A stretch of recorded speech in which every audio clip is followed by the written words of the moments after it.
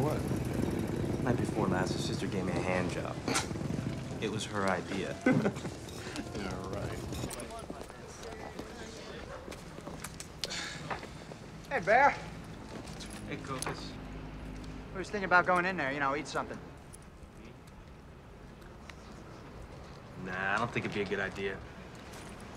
Why not? They let Jews in there. Your sister can come in, only she'll have to wash her hands.